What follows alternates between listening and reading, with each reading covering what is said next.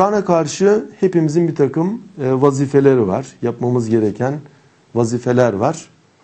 E, ben bunları kısaca şöyle ifade edebilirim.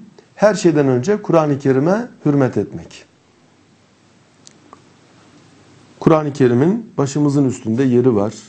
İşte o ilahi kelam olarak kalbimizde gereken saygıyı görmeli ve bulmalı.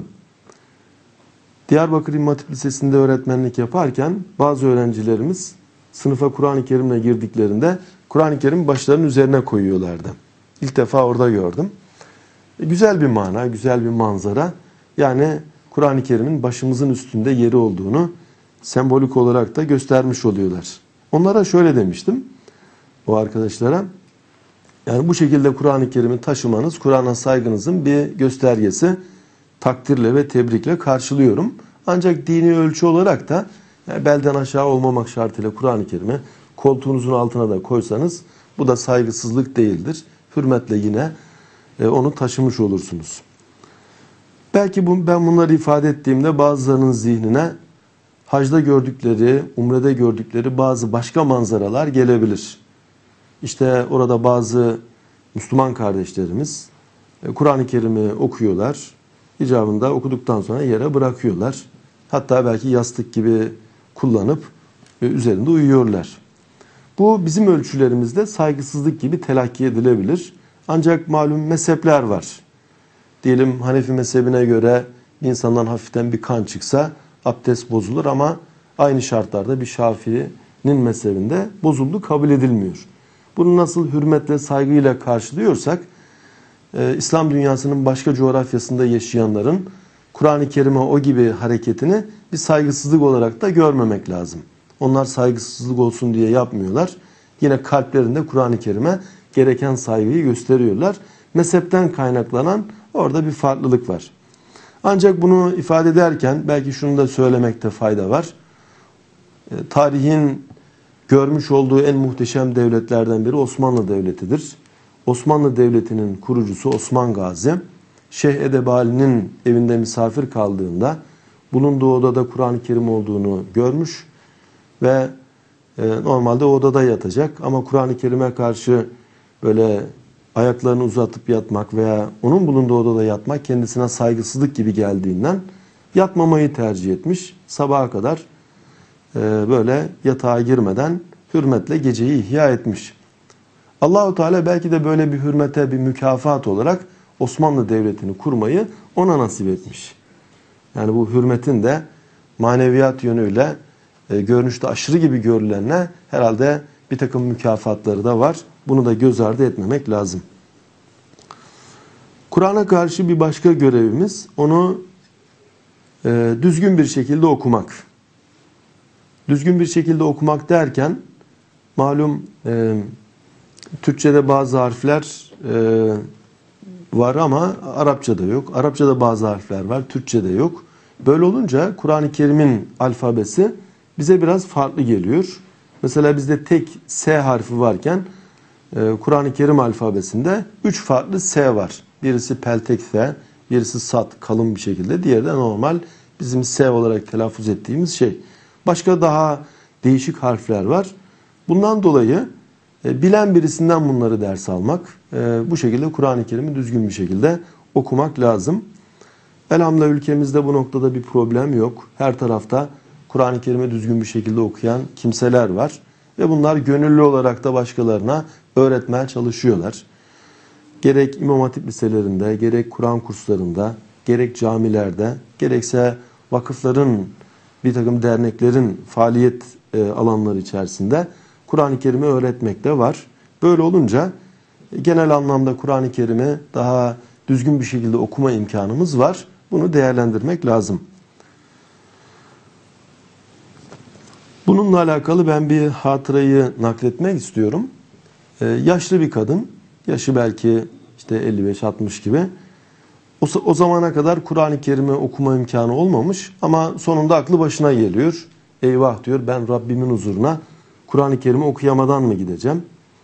Ve Kur'an-ı Kerim'i okumak için öğreten kimselerin yanına gidiyor, onlardan ders alıyor. Ama artık yaş da ilerlemiş ya, harfler hatırında kalmıyor. Nasıl tutturulacak? Yapamıyor. Uzun bir gayret ama netice yok. Çok üzülmüş. Derken bir gece rüyasında kendisine Kur'an alfabesi tek tek öğretiliyor. Şu eliftir, bu B'dir, bu T'dir. Harfler öğretiliyor. Harekeler üstüne ötüre. Bunlar nasıl okutur? Ee, bu gibi daha diğer özellikler öğretiliyor. O heyecanla uyanıyor. Rüyası, rüyasını da gayet net bir şekilde hatırlamakta. Hemen e, abdest alıyor. Kur'an-ı Kerim evde varmış. Açıyor. Bismillah deyip gayet düzgün bir şekilde okumaya başlıyor. Bu da Kur'an-ı Kerim'in herhalde mucizevi yönlerinden birisi. Demek ki bir insan çok istekli olsa rüyada bile Kur'an-ı Kerim ona okutulur ve öğretilir. Fakat herkese bu nasip olmayabilir. Bundan dolayı ya olanlara mübarek olsun deriz de diğerleri de bir hocadan ders alırlar. O şekilde öğrenirler. Ee, yoksa rüyaya bırakılacak olursa herkes rüyada böyle bir hale mazhar olmayabilir. Üçüncü bir merhale yani Kur'an'a hürmet dedik, Kur'an'ı okumak dedik. Üçüncü bir merhale Kur'an-ı Kerim'i anlamak. Çünkü e, bizim dilimiz Türkçe, e, Kur'an-ı Kerim Arapça. E, bu durumda Kur'an-ı Kerim'i nasıl anlayacağız? İmam Hatipler'de okuyanlar, özel Arapça eğitimi dersi alanlar, ilahiyatlarda okuyanlar bir derece Kur'an-ı Kerim'e daha rahat muhatap olabilir. Belli bir Arapça ile anlayabilirler. Ama e, hiç Arapça bilmesek de Kur'an-ı Kerim'i anlamak mümkündür. Benim tanıdığım bazı ilim adamları var, profesör. E, sahaları tefsir, hadis falan değil, ilahiyatçı değiller. Ama ömürlerini Kur'an-ı Kerim'i anlamaya adeta vakfetmişler. Bunun neticesinde çok rahat bir şekilde Kur'an-ı Kerim'i şu anda anlayabiliyorlar ve hayatlarında uygulayabiliyorlar. Hatta bir takım manaları biz onlardan öğreniyoruz. Onların araştırmalarının neticesinde onlardan istifade ediyoruz. İşte Kur'an-ı Kerim'in meali vardır. Mesela Elhamdülillahi Rabbil Alemin. Her türlü hamd alemlerin Rabbi olan Allah'a mahsustur. Ben burada mealini ifade ettim. Ama bir de bunun tefsiri vardır. Tefsiri yani yorumu, açıklaması. Hamd nedir? Şükürden farkı nedir? Ee, her hamd şükür müdür? Ee, diğer taraftan alem nedir? Alemler nedir?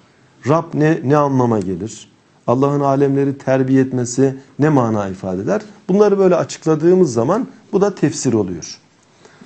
Ben bunu kısaca şöyle ifade edebilirim. Ee, şöyle bir incelik var. Mesela e, alemler dediğimizde alemler sayısını bilemeyeceğimiz kadar alemler var. Bunların her birisi belli bir terbiyeden geçmiş. Renkler alemi, sesler alemi, işte hayvanlar alemi, bitkiler alemi, insanlar alemi, yıldızlar alemi. Bunların her biri bir alem. Yıldızlar alemini astronomi ilmi inceliyor. Diyelim canlılar alemini biyoloji ilmi inceliyor. Biyoloji ile alakalı bütün açıklamalar Rabbül Alemin ifadesinin bir açıklamasıdır. Uzayla alakalı bütün açıklamalar, e, astronominin bulduğu bütün açıklamalar yine Elhamdülillahi Rabbil Alemin ifadesinin bir açıklaması anlamına gelir. Böyle olunca bütün ilimler aslında Rabbül Alemin manasını bize anlatıyor. Allah'ın alemleri nasıl terbiye ettiğini bize anlatıyor. Mesela embriyoloji ilmi insanla alakalı. Diyelim ki ana rahminde insan hangi merhalelerden geçiyor? İşte bunun böyle e, kitaplarda uzun uzun anlatım var. Allah'ın terbiyesini anlatır. Yani Allah bu insanı maddi beden itibariyle nasıl terbiye etmiş?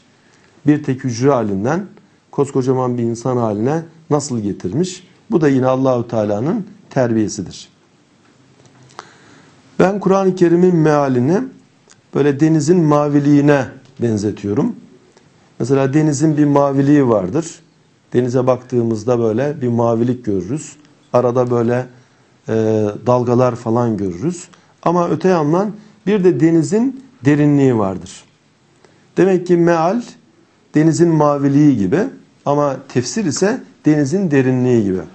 Böyle olunca sadece mealden Kur'an-ı Kerim anlaşılmaz. Yani meal olmalı. Nasıl ki denizin maviliği var. Bunu görüyoruz zaten. Ama orada da kalınmamalı ve dalınmalı. O denize dalınmalı. Ben şahsım itibariyle bir defa bir dalgıçlık yaptım. E, bu işle uğraşan arkadaşlardan birisi e, beni götürmüştü böyle. Çanakkale taraflarında bir yere gittik. Orada bir dalgıç ekibiyle beraber biz de daldık. İlk dalanları 12 metre daldırıyorlar. Sonra bu 25 metreye 50 metreye falan çıkıyor. E, Kur'an-ı Kerim'in dalgıçları bunun gibi. Bazıları 12 metre dalar, bazıları 25 metre dalar, bazıları çok daha derinlere dalar, bazıları da Kaptan Kusto gibi çok çok daha derinlere dalarlar. İşte müfessirler Kur'an'ın mana denizinin, mana deryasının dalgıçları durumunda. Fahrettin Razi gibi, e, Kadı Beydavi gibi, Alusi gibi, zamanımızda e, mesela e, Elmalı Hamdi Yazır gibi, Bediüzzaman Said Nursi gibi bu gibi zatlar Kur'an-ı Kerim deryasının e, dalgıçları. Onlar başkalarının göremediklerini de görmüşler ve e, başkalarının ulaşamadığına ulaşmışlar. Çok güzel manalara bizi muhatap etmişler. Ama Kur'an-ı Kerim'in acaba incileri, mercanları, letaifi o tefsirlerde gördüğümüzde sınırlı mıdır? Hayır onlarla sınırlı değildir.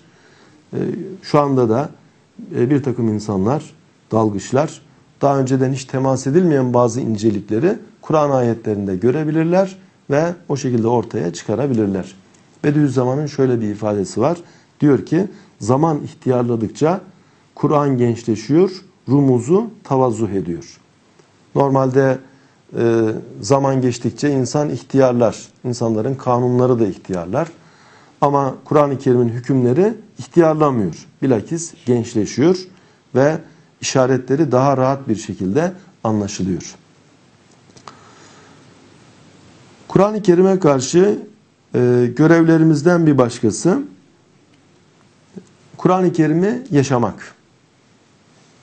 Yani okuyacağız, anlayacağız, anladığımızı hayatımızda uygulamak. Bu açıdan baktığımızda Kur'an-ı Kerim'in tamamı e, bir pratik kitabıdır aynı zamanda. Hem teoriktir hem de pratik kitabıdır. Söz gelimi Elhamdülillahi Rabbil Alemin. Fatiha'nın ilk ayeti. Yine ondan örnek vereyim. Bunun mealini anlamak çok zor değil. Her türlü hamd alemlerin Rabbi olan Allah'a mahsustur. Peki uygulaması nedir bunun? Daima elhamdülillah demek. Nimetleri hatırladıkça elhamdülillah demek. Bu bitmez tükenmez. Ömür boyu insan ilahi nimetleri düşünür ve elhamdülillah der. Ve bunu söylerken de sadece elhamdülillah değil, elhamdülillahi rabbil alemin. Çünkü bütün alemlerden bize nimetler geliyor. Buna mukabil sadece elhamdülillah demek yetmez. Elhamdülillahi rabbil alemin demek gerekir. Mesela festakim kema ümirte peygamberimize ve ümmetine yönelik bir emirdir. Festakim kema ümirte ve men tabe maake. Yani sen ve seninle beraber o tövbe etmiş olanlar istikamet üzere olun. Allahu Teala böyle bir emir veriyor. Bu bir emir. Emrolunduğun gibi dost doğru ol. Ama bunun uygulaması her an ve hayat boyu. Çünkü hayat boyu her anın bizden istemiş olduğu belli bir tavır var. Orada e, gerekli istikameti gösterebilmek, e, eğri büğrü bir hal olmaksın, dost doğru Allah'ın emrettiği gibi olabilmek, bu sadece bir defa olacak bir şey değil, ömür boyu bizden istenen bir durum. Daha bunun gibi mesela onlar göklerin ve yerin yaratılışını tefekkür ederler diyor. Allahu Teala met ediyor. Bazı has kullarını anlatırken onlar göklerin ve yerin yaratılışını tefekkür ederler. Burada gizli bir emir var. Yani siz de tefekkür edin. Kur'an bize bunu anlatırken met etmiş oluyor onları. Siz de onlar gibi olun şeklinde. Ee, burada zımni bir hüküm var. Demek ki tefekkürü bu ayet doğrudan değilse bile netice itibariyle emretmiş oluyor. Daha bunun gibi Kur'an-ı Kerim'de hangi ayeti ele alsak bunun hayatta uygulamayla ya doğrudan veya netice itibariyle alakası vardır. Ve Kur'an-ı Kerim doğrudan yaşamamız için gelmiştir. Kur'an-ı Kerim'i nasıl yaşayacağız? Bu noktada Peygamberimiz Aleyhisselatü Vesselam'ın hayatını gayet iyi bilmek son derece önemli. Çünkü e, Peygamberimiz Aleyhisselatü Vesselam Hazreti Ayşe ve emsali bazı kimseler tarafından anlatıldığında şöyle anlatılmış. Huluguhu el Kur'an. Onun ahlakı Kur'an ahlakıydı. Yani Peygamberimiz Aleyhisselatü Vesselam yaşayan bir Kur'an. Kur'an-ı Kerim e, özellikle teorik olanı göstermiş oluyor. Peygamberimiz Aleyhisselatü Vesselam da kendi hayatında bizzat tatbikatını gösteriyor. Yani dolayısıyla festakim kema ümirte emrolunduğun gibi dost doğru ol. Bu ayeti iyi anlamak mı istiyoruz? Peygamberimiz nerede ne şekilde hareket etmiş? İstikamet nasıl olur? Onun hayatına bakarız. Kur'an-ı Kerim'i daha iyi anlamış oluruz. Böyle olunca yaşayan Kur'an olan peygamberimizi daha yakından bilmek, e, Kur'an'ı daha iyi anlamamıza vesile olacaktır. Hadisleri bu noktada bilmek yine Kur'an-ı Kerim'i daha iyi anlamamıza vesile olacaktır. Kur'an'a karşı bir başka görevimiz Kur'an-ı Kerim'in manalarını başkalarıyla paylaşmak. Çünkü e, yani Müslüman kendi halinde keyif edemez herhalde. E, komşusu tok, e, komşusu açken kendisi tok yatan hakiki anlamda mümin değildir. Hadiste böyle buyurulmuş. Komşumuz eğer Kur'an hakikatlerine muhtaç bir vaziyetteyse onu kendi halinde bırakamayız. Bu manevi sofradan onun da istifadesi için bir gayret içinde olmak gerekir. Öte yandan e, dünyanın diğer milletleri henüz daha Kur'an sofrasına gelememişlerse onlara da Kur'an-ı Kerim'i götürmek, Kur'an-ı Kerim'i ulaştırmak bir vazifemizdir. Bu noktada tabi la ikrahe fid din. Dinde ikrah yok, dinde zorlama yok. Ee, Kur'an-ı Kerim'in bu ayetini bileceğiz. Ama dinde zorlama yok derken kimseye anlatmayacağız anlamında değil. Dinde tebliğ var. Dinde bildiklerimizi başkalarıyla paylaşmak var. Mesela Peygamberimiz Aleyhisselatü Vesselam şöyle buyuruyor. Ya Ali, Hazreti Ali'ye hitaben senin vasıtanla bir tek kimsenin hidayete gelmesi sahralar dolusu kırmızı koyundan senin için çok daha hayırlıdır. Demek ki e, asıl olan başkalarının hidayetine vesile olmak, başkalarını böyle e, Kur'an'ın sofrasına davet edebilmek. Bunu yapabildiğimizde gerçekten çok daha güzel bir şekilde Kur'an'ı yaşamış oluruz. Ve bu peygamberlerin başta vazifesidir. Yani peygamberler tebliğ görevinde bulunurlar. Kendilerine e, indirileni başkalarına da anlatırlar.